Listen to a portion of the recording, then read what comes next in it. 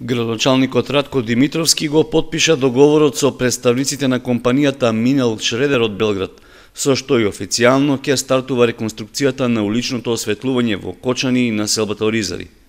Се работи за крупен зафат вреден над 850.000 евра, што треба да овозможи замена на постојните живини со така наречени solid state LED светилки.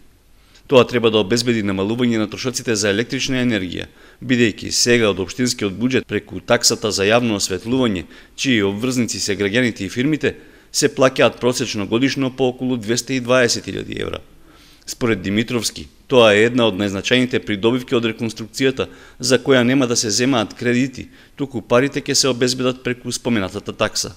Договорот е вреден 52 милиона 510 илјади денари, се однесува за замена на 3125 светилки во централното подречје на градот Кочани, односно во целата на целата територија на градот Кочани и во Оризари во централното подречје.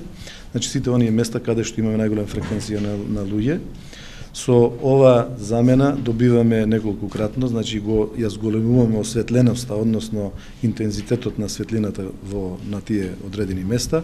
Добиваме заштеда од 60 до 65% и едноставно со таксата која што имаме комунална го вршиме плаќањето на оваа голема инвестиција, тековна инвестиција од тековниот буџет на е, општината Кочани во наредните три години. Според динамичкиот план што веќе го изработил изведувачот, би требало замената на првите светилки да стартува во август, бидејќи потребни се околу 45 дена за да се завршат подготвителните активности.